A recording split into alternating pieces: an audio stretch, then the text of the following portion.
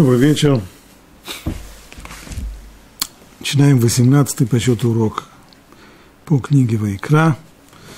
Недельный раздел Шмини, мы уже подбираемся к его завершению. Это 11 глава с самого начала. И говорил Бог Моше и Аарону.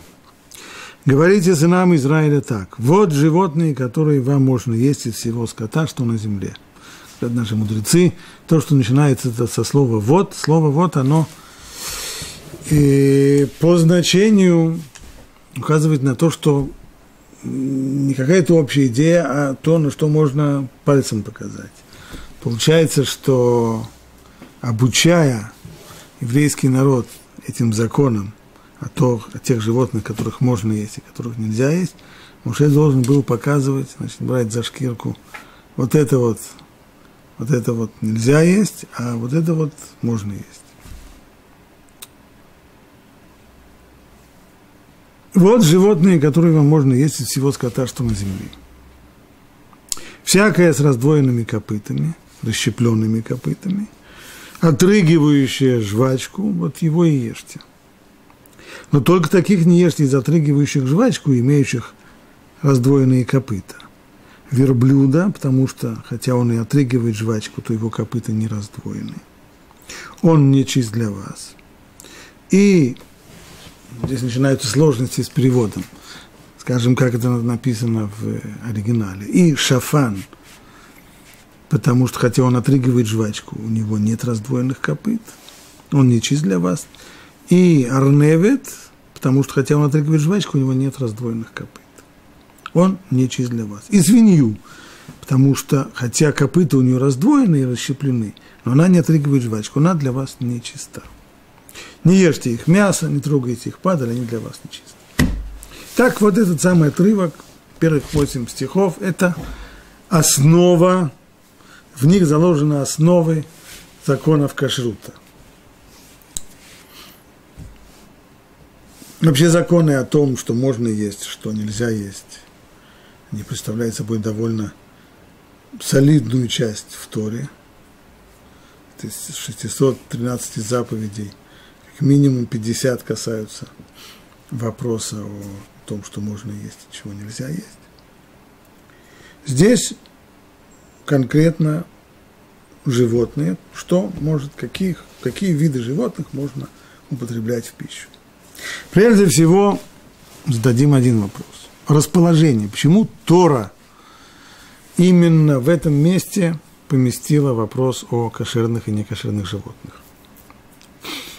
Понятно, что такой вопрос всегда можно задавать. А если бы в другом месте было бы, мы спросили, а почему именно в другом месте? Совершенно верно. Знаете, что это место мне чем-то не нравится. Оно мне нравится, это место. Но только хотелось бы знать, есть ли какая-нибудь логическая связь с, со всем, с предыдущими отрывками – запомним, что наши мудрецы всегда подчеркивают «эн мугдам мухарбы тура», то есть текст Торы не излагает события и, и отрывки свои в хронологическом порядке. Порядок он логический, систематический, но не хронологический. Если посмотреть ось на разместить на оси повествования Торы, что мы видим? Получение, исход из Египта – конец книги Шмот, получение Торы на горе Синай. Вслед за этим мы подбираемся к концу книги Шмот. Грех золотого тельца, исправление, искупление этого греха, построение мешкана, переносного храма, реализация цели этого храма, а именно шхина – присутствие, близость со Всевышним. И вот сразу, как только заканчивается история о сооружении мешкана, храма, сразу после этого Тора переходит к вопросу о кошерной пище и некошерной пище, законы Тума и Тара и так далее. Почему именно здесь? На эту тему я нашел Сфорну. Сфорну в своем комментарии как раз поднимает этот вопрос. о месте, в котором Тора дает нам, месте, в котором Тора поместила законы кашрута. С формы исходит из э, своей общей установки. Он возвращается к этому много раз в своем комментарии. Что сооружение мешкана было прямым следствием греха Золотого Тельца. И сооружение мешкана должно было каким-то образом решить проблему, которая возникла.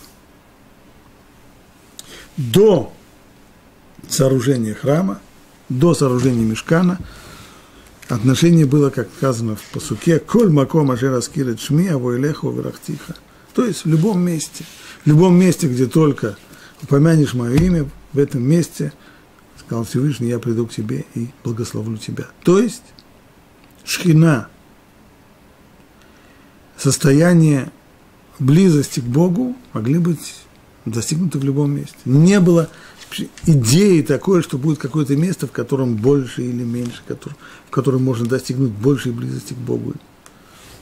Весь мир, он э, храм Божий. Но выяснилось, что так не, не очень хорошо получается. И закончилось все грехом золотого тельца, в основе которого было желание, упорное желание человека, чтобы было какое-то место, чтобы было какое-то что-то, куда человек может направлять свой взор во время молитвы, куда может он обращаться в самой, в самой испорченной форме – это стремление вылилось э, в то, что сделали тельца, вот э, осязаемую какую-то форму, в которой можно будет направляться и вот, молиться в ту сторону. Теперь ситуация не такова. Теперь после греха, хотя грех был исправлен, и вроде бы было прощение, да, в Йом-Кипур Всевышний сказал, Салахти Кедвареха, я простил народ по твоему слову, по твоей просьбе, так он сказал Муше. Но прощение прощением, а последствия остались. Как бывает человек, который излечился от болезни, да, он, он теперь здоровый, но последствия болезни есть. Иногда человек излечивается от болезни, ему говорят, все замечательно, вы здоровы, но диету теперь будете соблюдать. Вот это, это и это вам запрещены. Иногда это бывает на, какой-то срок, а иногда навсегда. То же самое здесь. Шхина теперь близость со Всевышним достижима только при определенных условиях. Уже нет такого, что весь мир является храмом Божьим, это уже нет. Есть определенное место, в котором при достижении, при соблюдении очень строгих законов, жертвоприношений, достижима вот эта близость к Богу. И теперь добавляются новые условия. Не только в том, что должны быть принесены определенные жертвоприношения для того, чтобы была шхина. Теперь есть еще определенные указания, которые касаются, и самое первое указание, которое касается пищи, что можно употреблять в пищу, что нельзя употреблять в пищу. Затем появятся еще дополнительные условия, а именно тара, чтобы не было тумы, чтобы не было сквернений. Так объясняет форма. В этом контексте понятно, что смысл законов кашрута – это не диетарные законы,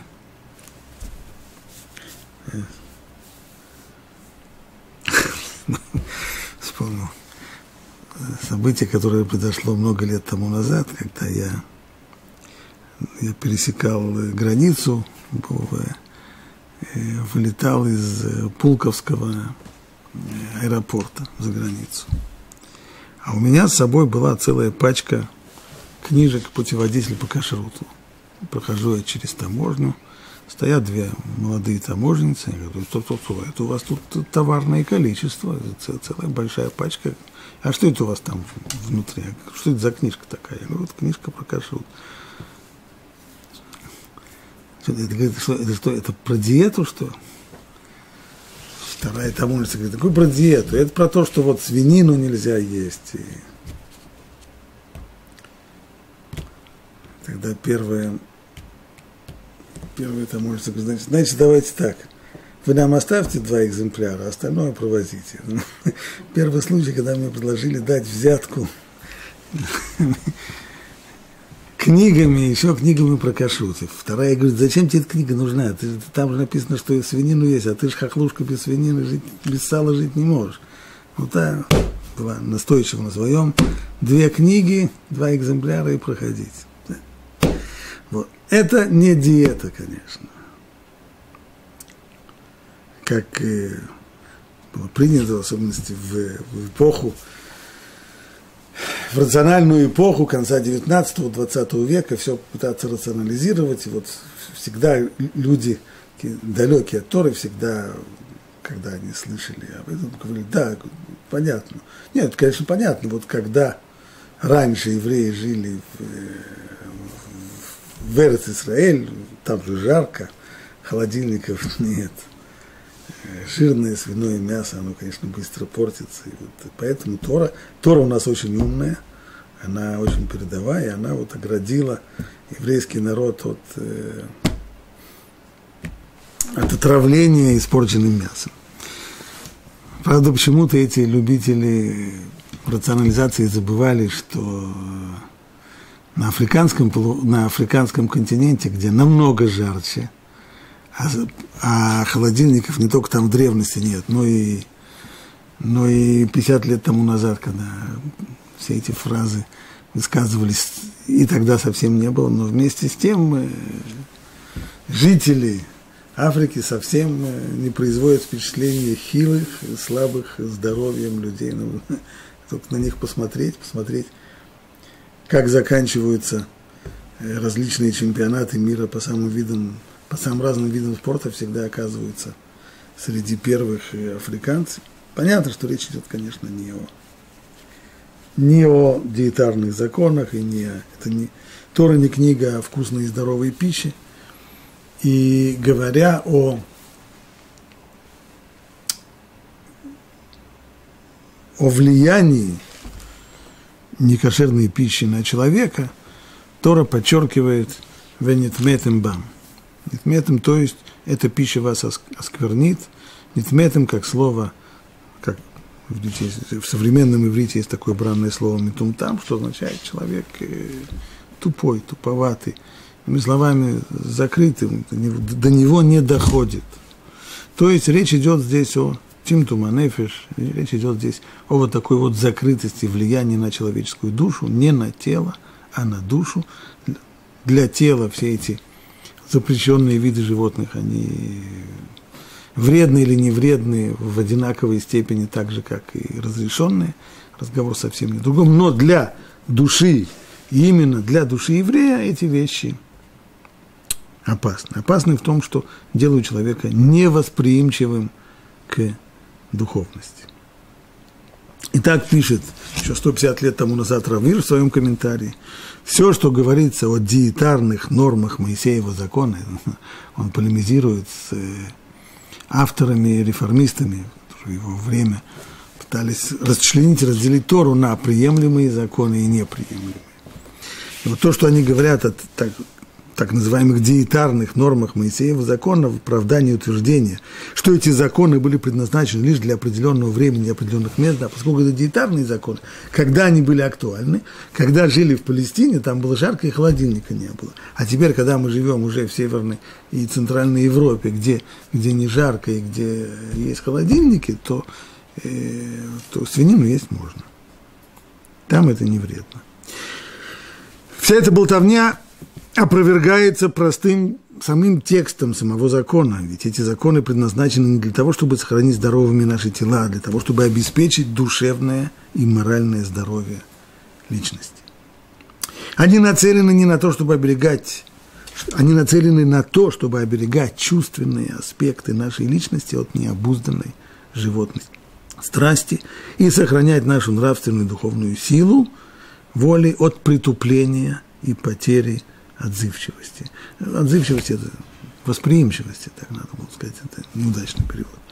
Они стремятся внушать нам, то есть реформисты, что фундаментальной предпосылкой нашей способности осуществлять свое духовное и нравственное значение является удержание наших физических тел в тех узких рамках чистоты, которые сделают их жизненными, восприимчивыми, таким образом послушными, эффективными орудиями, слугами. И так далее, и так далее, и так далее. Вот после всей этой, э, всех этих вступлений, теперь давайте посмотрим, что же нам Тора, кого же нам Тора разрешила в пищу, а кого нет, кого мы едим.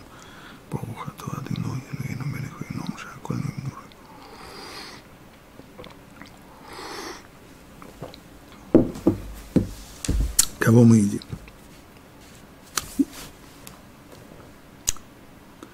Из всего скота, что на земле, всякое с раздвоенными копытами, расщепленными копытами, отрыгивающее жвачку, есть его. Итак, есть два критерия для животных, для наземных животных. Птиц мы не трогаем, это отдельная история. Э, водоплавающих тоже, и это отдельная история пока что наземные животные. Наземные животные для того, чтобы попасть на еврейский стол, должны обладать двумя признаками кошерности. Первое – раздвоенные и расщепленные копыта. Второе – отрыгивающая жвачку. Можем ли мы сказать это более знакомыми нам словами, что имеется в виду парнокопытные и жвачные? Ответ – нет. Потому что эти определения, то, что определяется в зоологии – как жвачные животные, не подходит определению, которое дает Тора, отрыгивающую жвачку, пришло время уже назвать это своими словами, как сказано в Торе, в Торе Маале Гейра, это не совсем то, сейчас мы это увидим. И, да и то, что называется в зоологии парнокопытными, не, со, не точно соответствует тому, что требуется здесь раздвоенные расщепленные копыта. Раши, когда он объясняет, что это за раздвоенные расщепленные копыта, говорит, что следует понимать это слово в соответствии с тем, как его перевел на арамейский язык ункилус, а именно то, что расколото надвое. То есть копыта разделено по всей длине сверху до низу на два отдельных ногтя. Ведь есть животные копыта, которых разделены сверху, но не расщеплены по всей земле. То есть у них видно точно два пальца, но эти пальцы, пальцы раздельные сверху, срастаются затем внизу и заканчиваются таким общим, общим копытом. Это не годится. Должно быть полностью раздвоенное и расщепленное копыто.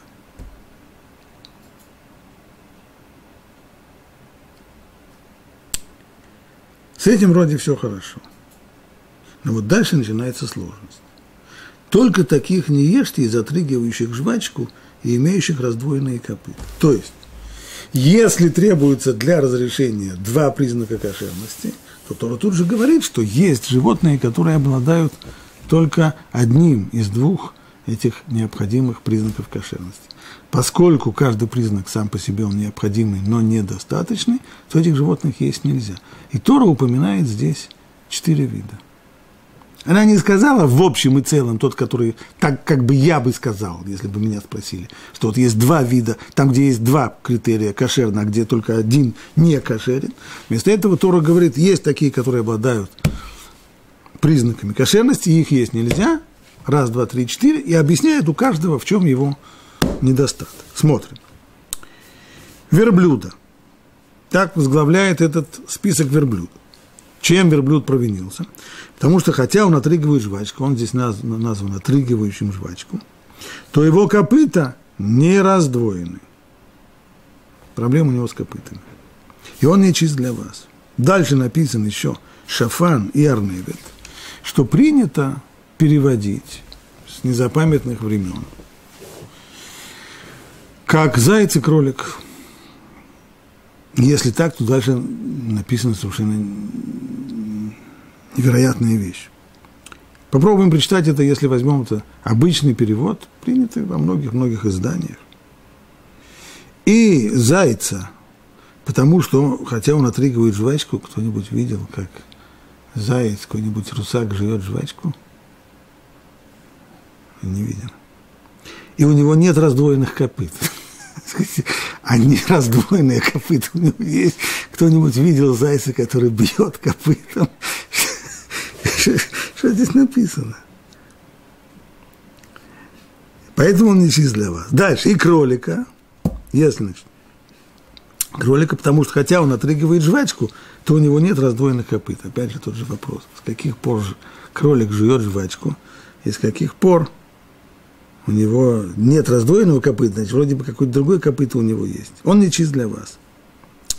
Итак, три вида названы, три вида обладают одним признаком кошерности. То есть они названы здесь Маалей Гера, отрыгивающими жвачку. А один вид – это свинья. У нее все наоборот. Свинья всем, когда она лежит, она вытягивает ноги, всем показывая свои раздвоенные, расщепленные копыта. У нее самые-самые яркие, еще ярче, чем у, у коровы, если это расщепление копыт. Но внутренность у нее не та. Но она не отрыгивает жвачку. С этим трудно не согласиться. Свинья, конечно же, не отрыгивает жвачку. С ней все понятно, она не чиста для вас. Вот мы сегодня и займемся вопросом идентификации того, что написано в тексте Шафан, Арневет, что это за Шафан, что это Арневет, Арневет.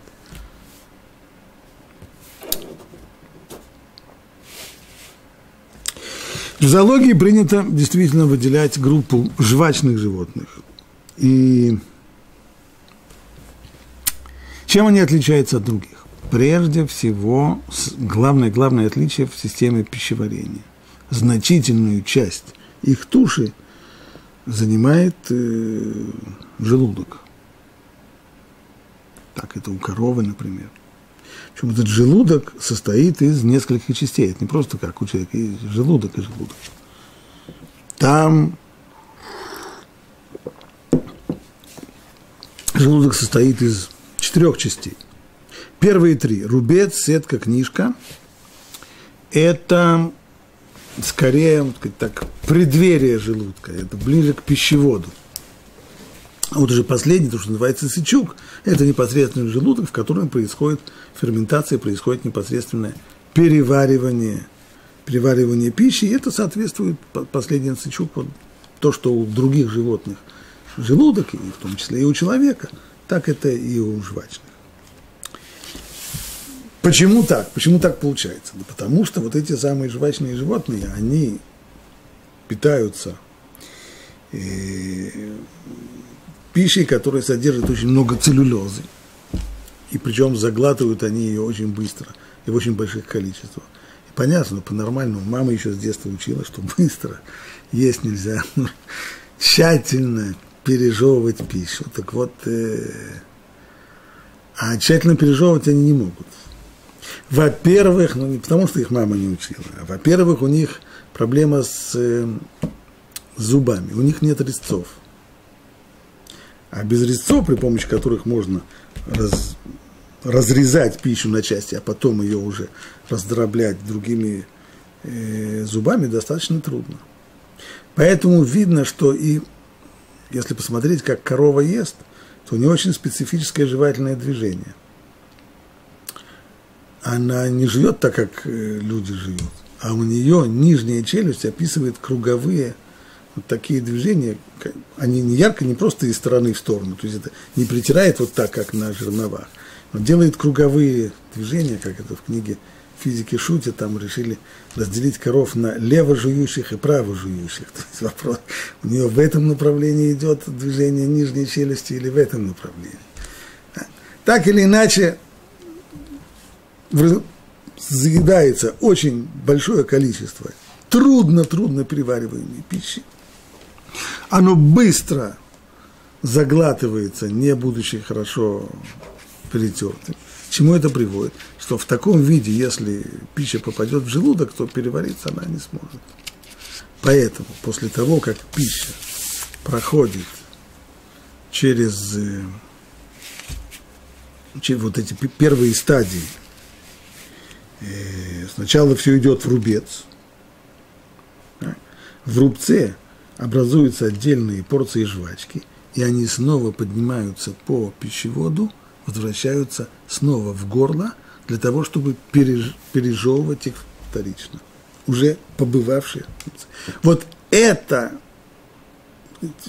вот этот процесс и называется гаалаат гера. То есть именно здесь слово маале гера. Маале, то есть то, что поднимается. Гера. Почему это называется, называется жвачка, называется гера. Некоторые говорят это слово не грар.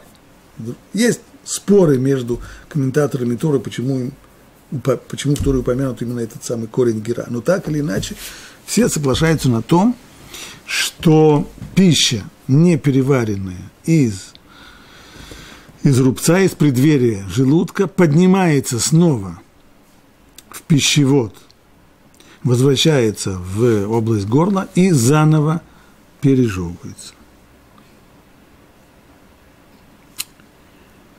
Нужно сказать, что в галактической литературе, среди комментаторов Торы, упоминается еще целый ряд факторов, которые, по которым животное можно, можно или нет, это вопросы, которые обсуждаются, но, но возможно, что по этим факторам можно причислить животные к этой группе Малия Гера. Снова не будем называть их жвачными, потому что это не, не всегда, как мы сейчас увидим, это не совсем то. Потому что здесь говорится, во-первых,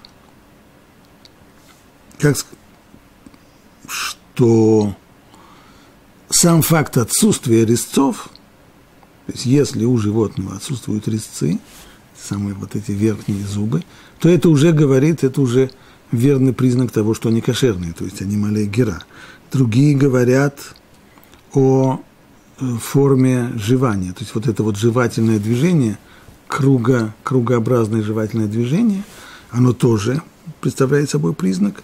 Некоторые говорят о самом наличии многокамерного желудка, в тот момент, когда есть многокамерный желудок, который приводит к тому, что пища не переваривается за один раз обычным путем, принятым у всех других животных. И это тоже. И ну и, и, и само э, пережевывание жвачки. В Талмуде, когда обсуждается этот вопрос,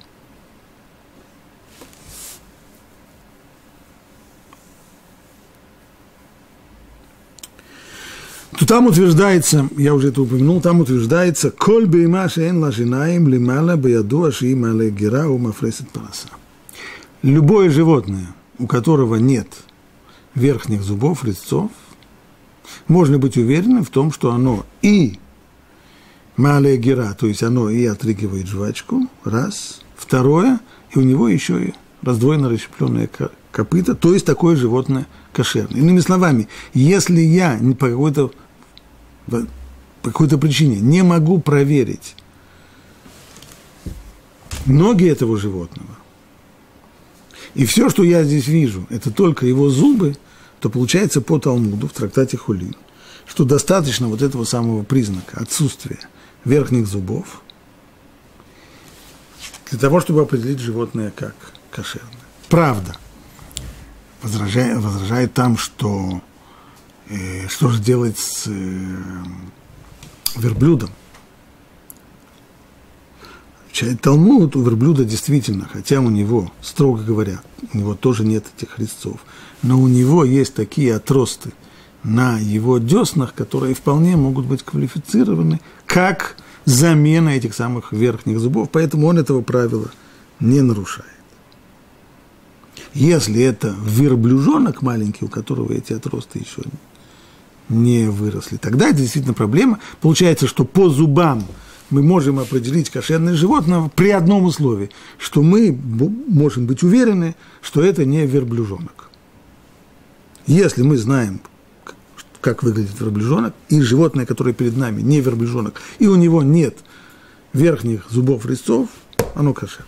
Можем быть уверены, что оно кошер.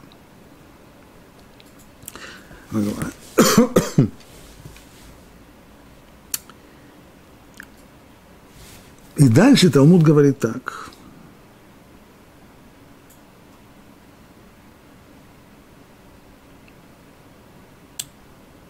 Что и, как это точно сказано, Тань Раби Ишмаэль, в это гамальки мале гирау, то есть не ешьте верблюда, ибо он, хотя, не ешьте верблюда, хотя он отрыгивает жвачку, шалит бы уламо, только тот, кто управляет всем миром, тот, кто создал всех животных, поэтому он точно знает, что у него есть, он может указать, что это единственный. Он знает, Всевышний, который дал Тору, он только и знает, «Шейн лихадавар мале гирабе таме эла гамаль».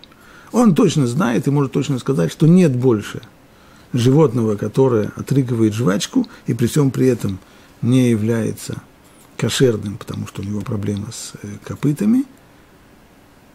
И поэтому Тора здесь его и написал. Вот единственный, и Тор указывает, что он единственный, так говорит Талмуд.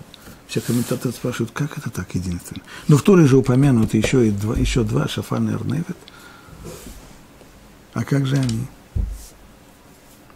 То, что да, имеется в виду э, верблюд и иже с ним.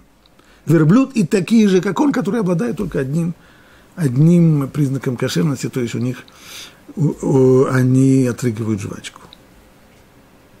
Но само по себе довольно проблематичное место.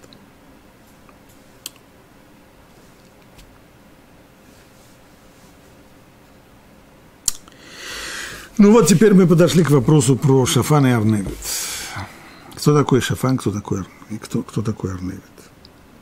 Сказали мы, что перевести Шафан как заяц, это не лезет ни в какие ворота совсем. Ни жвачку он не жует, и, и копыт у него нету вообще. Ряд комментаторов утверждает, и ученых тоже, утверждает, что это даман, что имеется в виду даман. Что такое даман? Даман, или называют его еще горный заяц, или сирийский заяц. Это такое мелкое млекопитающее, размером с домашнюю кошку, 50-60 сантиметров. По внешнему виду похож на грызунов типа сусликов, морских свинок, но на самом деле он ни к сусликам, ни к морским свинкам не имеет никакого отношения. Как что самое смешное, что самый близкий родственник этого домана – это слон. То есть сам доман, он 50 сантиметров всего, да? а самый близкий его двоюродный брат – это слон. Вот, э, разросся до таких размеров. То есть по, э, по зоологическим признакам зоологи их сводят в, в очень близкие родственники.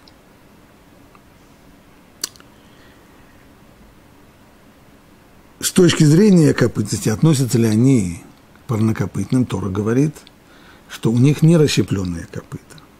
А зоологи говорят, что они почти как, у них есть подпарнокопытные, то есть немножко, немножко, немножко не дотянули до парнокопытности, но это все-таки не парнокопытные.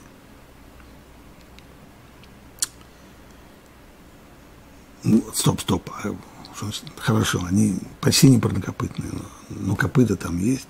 Откуда вообще там копыта? На самом деле с ногами у него так. У него есть э, передние его конечности. Кстати, где можно, где он обитает, этот самый дома? И в больших количествах доман обитает в районе Мертвого моря Ингеди. То есть тот, кто бродит там, и он достаточно наблюдательно, обязательно увидит, увидит там этих доманов.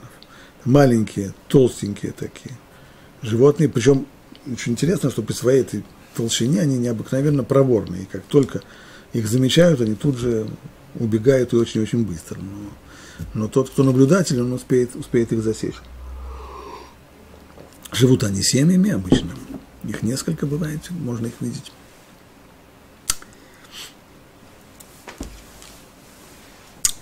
Их передние конечности, они пятипалые, пять пальцев. И на них есть ногти, которые отдаленно, отдаленно, отдаленно напоминают что-то вроде копыта.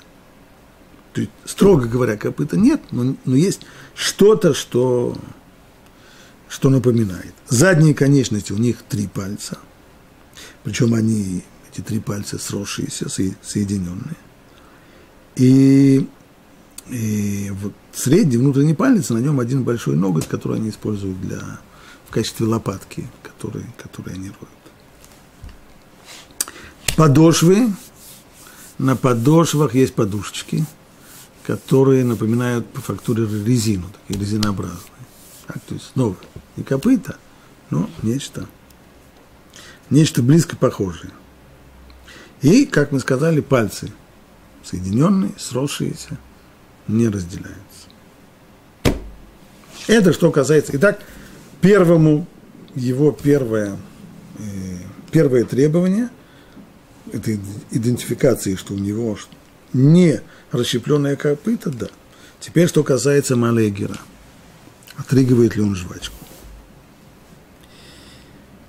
Зоологи не причисляют домана к жвачным животным, потому что жвачку он, строго говоря, не жует.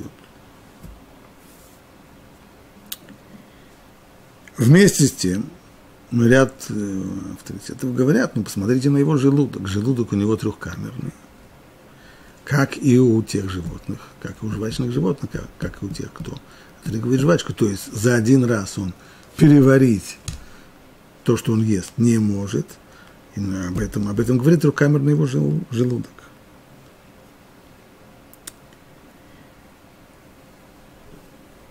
А Рабдовид Цвиофман, который жил в Германии в XIX веке, и вслед за ним израильский зоолог нашего времени, Равьюда Феликс, они говорят следующую вещь, что здесь, ну, в совокупности две вещи, два признака они есть у этих доманов, а именно, прежде всего, это трехкамерный желудок, не похожий на, похожий на желудок жвачных и не похожий на желудок обычных животных, это раз. Во-вторых, то, что их жевательное движение, оно такое же, как у жвачных. То есть, жвачку доманы не жуют, они не отрыгивают жвачку, это верно. Но внешне, писал Рабдовец Виофман, но внешне они похожи из человека, который смотрит на них, если он не разбирается в зоологии, он скажет, они, они таки да, жвачные. Почему? Потому что они жуют так же, как жует корова. Они не жуют так, как жует лошадь или другие. У них совершенно другое жевательное, вот, вот это вот жевательное движение, похожее на движение коровы, из стороны в сторону круговое движение, именно так они жуют. Причем даже не только тогда, когда они конкретно едят, но и вроде бы в то время, когда они отдыхают от приема пищи, тоже у них наблюдается это жевательное движение. Что, это, что получается? Что хотя они на самом деле жвачку не отрыгивают, Тора называет их отрыгивающему жвачку, потому что они выглядят, потому что они похожи на тех, как, которые отрыгивают жвачку. Понять это можно в двух направлениях. Либо Тора опасалась, скажем так, что люди по ошибке посчитают их Малегера. И поэтому она и говорит, да, они, вы считаете, то есть я-то знаю, что они не Малегера, они не отрыгивают жвачку. Вообще. Поэтому даже не о чем говорить. То есть, строго говоря, у них нет ни одного признака кошерности. Не только, что у них копыта не, раздвоено, но и жвачку они тоже не отрыгивают. Ерунда. Но поскольку вы можете ошибиться и принять их за э, за отрыгивающих жвачку, так вот знаете, что все равно их есть нельзя. Почему? Потому что копытом они не вышли, оно у них не расщеплено.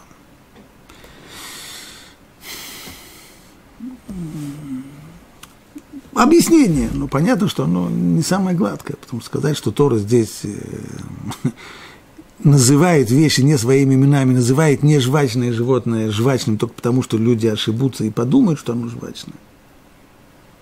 Объяснение, но не, но не сильно убедительное.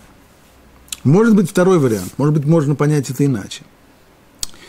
Что Тора – это понятие Маалей Гера упоминает как широкое. То есть часто у нас бывает, что есть один и тот же термин, который мы употребляем строго в узком значении и не строго в более широком значении.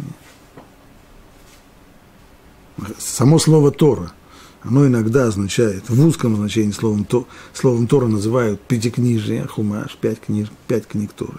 А иногда говорят о Торе, как о всей, всей, всей еврейской традиции. Нечто подобное здесь.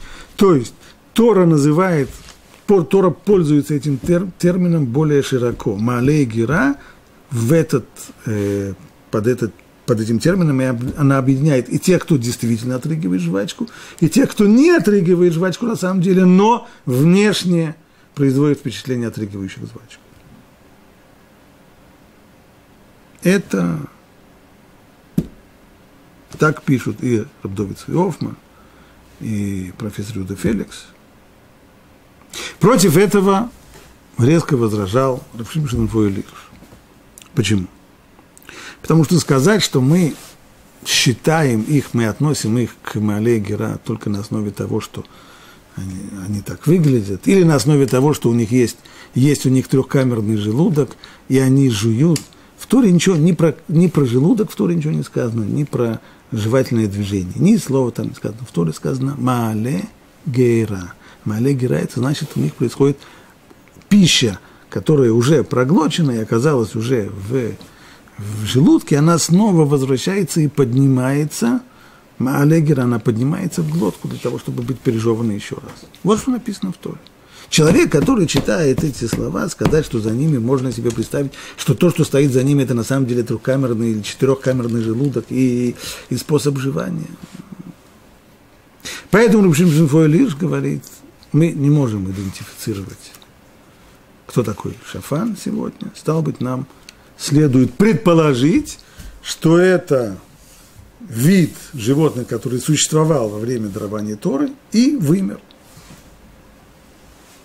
Есть такие. Разве все мы знаем, что есть э, виды животных, которые были когда-то и вымерли. Мамонт хотя бы. Другие авторитеты отрицают такой подход – чисто методологически. А именно, когда у нас есть какая-то проблема, то способ решения ее, значит, некоторое неписанное правило методологическое, которое принято и в науке, а в общем-то и в Торе тоже, что наиболее простое объяснение, оно скорее всего, ближе всего к, к истине. А предположить постулировать, что когда, что речь идет здесь о животном, которого сегодня нет, которое вымерло, и мы его не можем увидеть, это не самое простое объяснение. Поэтому очень многие авторитеты возвращаются снова к, к этому самому Даману и приводят, несмотря на то, что возражение, конечно, очень сильное, да, то, что конкретно он жвачку не отрыгивает, но есть еще дополнительные, дополнительные э, аргументы в пользу, в пользу Дамана. А именно, в Таилим царь Давид говорит, Арим агвуим леяалим, слоим махасыл шфаним. В одном стихе. То есть высокие горы, они для козерогов, а скалы, они представляют собой убежище – для шфаним. Итак, шафан. Ну, сразу понятно, что кто прочитал этот стих, понимает, что речь не идет про зайца. Зайцы при всем желании в скалах не живут. Упомянут здесь и снова тот, кто был в районе Энгеди, Мертвое море, прямо видит перед собой эту картину. Острозубые горы, по которым скачут козероги, а внизу под этими горами да, доманы.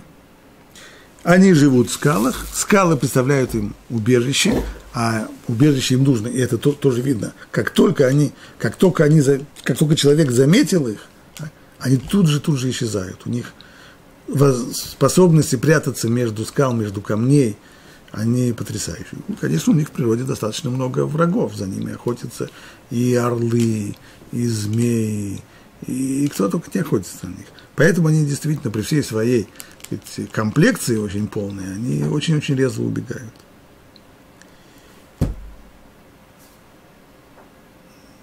То есть так как рисует царь Давид шафан, что он живет рядом, недалеко от козерогов и прячется в скалах, это очень точно соответствует да, образу жизни Дамана. Еще одно, на этот раз исторический аргумент, очень интересный. Финикийские мореплаватели, которые из своих портов, Тир, Сидон, отправлялись на, в экспедиции по Средиземному морю. Где-то больше трех тысяч лет тому назад доплыли, плыли на запад и доплыли до Иберийского полуострова, вышли и увидели кучу мелких животных, которых они приняли за доманов. Потом оказалось, что это на самом деле не доманы. В Ибери, полуострове живут кролики, но издали они приняли кроликов за доманов. Как они назвали это место? Ишфаним. Ишфаним, то есть остров, на котором живут шфаним. В дальнейшем это название перешло в латинский язык Хишпания, и в современном виде оно Испания. То есть Испания оказалась Испанией, это место оказалось Испанией благодаря вот такой вот, с одной стороны, ошибке. А, кстати, финикийцы говорили на языке очень близком к про к, к ивриту, про такой древний, древний, древний еврейский язык, который, по крайней мере, очень многие термины э, близки, и то, что у них Даман назывался Шафаном, и они приняли самых кроликов испанских за Даманов, и так назвали Ишфани.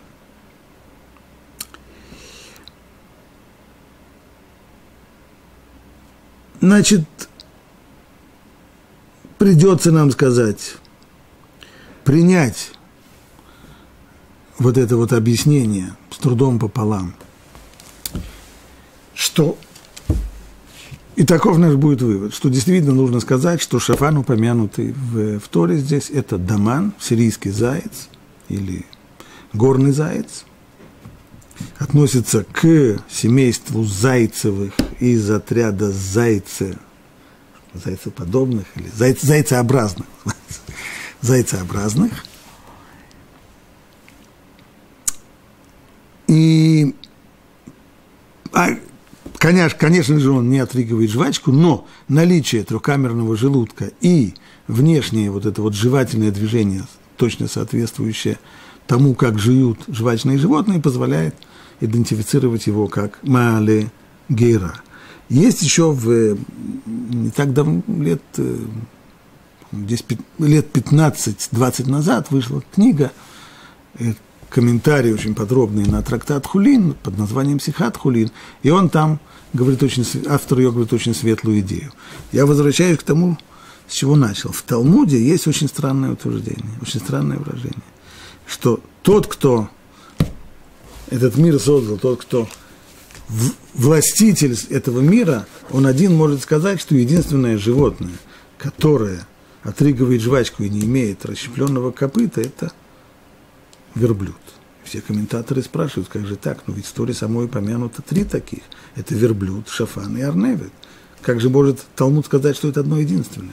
Говорит автор комментариев Хулин, почему говорит так Талмуд? Потому что, строго говоря, на самом деле, отрыгивающих жвачку, вот такой отрыгивающий жвачку и не кошерный, он только один. Это действительно только всего лишь верблюд. Он строго отрыгивает жвачку, но поскольку копытом он не вышел, то он вот обладает одним признаком кошерности на самом деле. А остальные два шафана арневит, они только выглядят как отрыгивающую жвачку, хотя на самом деле, строго говоря, они жвачку не отрыгивают, только по некоторым признакам их можно причислить к отрыгивающим жвачку. Поэтому Талмуд их и не упомянул, потому что на самом деле, строго говоря, только один. Это только, только верблюд. Это шафан. Теперь арневит. С арневит проблемы приблизительно те же самые. Принято переводить э, арневит как... В некоторых комментариях его перевели как, э, как зайца. И можем ли мы это принять? Или это кролик? Некоторых заяц, некоторых кролик.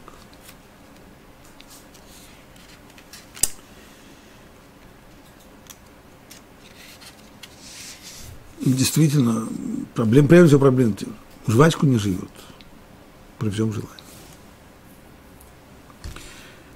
Да и многокамерным желудком тоже не обладает. То, что было у Дамана, у этого и того нет.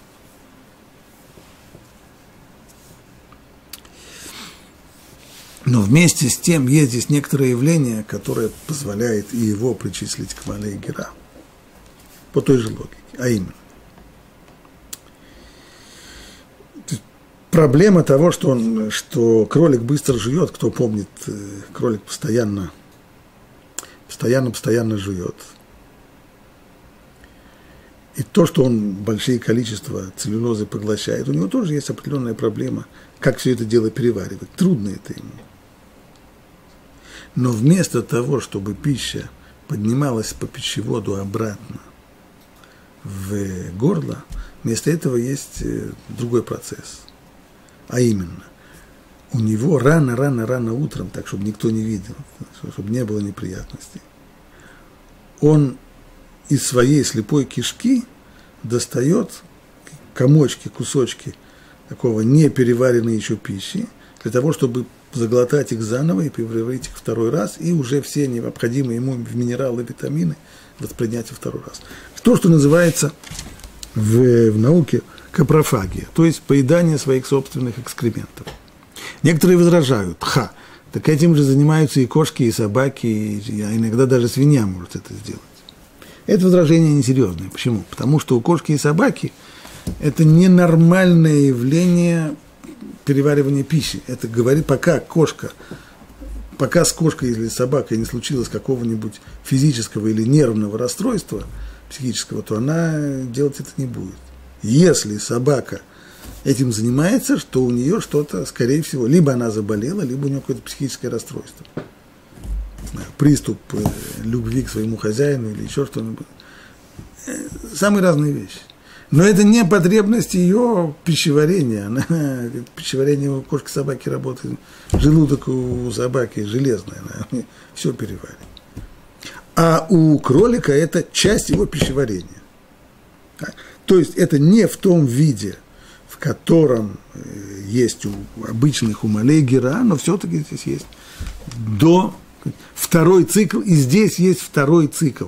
Понятно, что внешне это не так, здесь нет – э, поднимание Маалей Гера, то, что написано в Торе, не поднимается здесь пища по пищеводу, но вместе с тем второй цикл здесь присутствует. То есть, по сути дела, безусловно, наличие этого второго цикла переваривания пищи, оно роднит кролика с, э, с Малей Гера, с жвачными. Возражение, тоже, что и было по поводу шафан. Все-таки Тора пишет – Малия Гера, поднима, отрыгивающую жвачку. На основе этого Равир, точно так же, как он отверг Дамана, точно так же он отвергает кролика. И тоже говорит, что Арневит, как сказано здесь, это неведомое нам сегодня животное, ибо оно было, но вымерло. Другие этого не принимают, снова по той же самой причине. Потому что это не самое простое, не самое простое решение проблемы. И здесь тоже у нас есть э, два-три дополнительных аргумента в пользу кролика. Один из комментаторов, очень интересный комментатор, из, а, автор комментария «Ктава и Кабала», он, он говорит, что само слово «арневит», с точки зрения лингвистически его а, исследует, и говорит, что смысл его это, – это раздвоенная расщепленная губа, рассеченная губа. «Ар» – разбитая, «нив», «нив» – это верхняя, верхняя губа. Все мы знаем, есть такое выражение «заячья губа». О чем это говорится? Это говорится о человеке, у которого есть э, такой вот э, от рождения такая неприятность, э, рассеченная губа. И это, безусловно, кролик, он именно так и выглядит. У кролика это совершенно четко, четко просматривается. Во-вторых, есть еще одно, э, еще один аргумент интересный, написано в, в Талмуде – что когда царь Птолемей в Александрии повелел еврейским мудрецам перевести ему на греческий язык Тору, то они опасались перевести слово «арневет» на соответствующее ему греческое слово, потому что именно такое именно таким словом называлось, это было имя матери царя. Очевидно, ну, хотя Арневит, скорее всего, кролик по, э, по-гречески лагос, очевидно, так звали его маму. И понятно, это было бы воспринято как оскорбление, головы бы им не сносить. Поэтому как они перевели? И говорит тому, что они перевели цейрат рагла, цейрат раглаем. Цейрат раглаем значит коротконогая. И, и комментаторы там объясняют, что имеется в виду, что передние ноги у Арневит короткие. Ну, это же точно кролик. Именно его эти самые короткие передние ножки точно соответствуют. Другие, меня всегда интересовало, а если я сейчас возьму греческий вариант, перевод Торы, Септуагинту, там будет тоже написано коротконогое. Нет, там не написано коротконогое. Там написано волосатоногое. А как тогда? Есть комментаторы, которые говорят, что, есть, что одна из версий Талмуда, что там не цеират араглаем, а цефират араглаем. Цефират араглаем означает волосоногое. И действительно у кролика очень обильная растительность на, на ногах, которая позволяет ему более лучшее сцепление с, с землей, с каменистой поверхностью. Так что, скорее всего, скорее всего, Арневит это действительно кролик, и хотя он жвачку, строго говоря, не отрыгивает, но мы его можем посчитать как малая гера на основе двух э, факторов. Первое, он жует, у него жевательное движение, как у всех жвачных животных. Второе, у него есть вот эта вот капрофагия, то есть второй цикл переваривания пищи, который все это вместе позволяет посчитать его не строго, Малегера. И опять же то, что написал Сихат Хулин, на него распространяется, то есть Талмуд не включил его в Малейгера, Талмуд посчитал среди Малейгера только одно животное, не кошерное, а именно верблюда, а Арневит, хотя Тора его назвала Малейгера, Талмуд знает, что Тора его называет так не строго, а только потому, что он в широком, если использовать этот термин, в широком смысле, его смысле можно посчитать и кролика тоже. И так получилось у нас более-менее мы договорились, идентификация всех этих четырех видов. Есть у нас свинья, она, она и в Африке свинья, это она и есть. Верблюд тоже с ним все просто, это есть верблюд.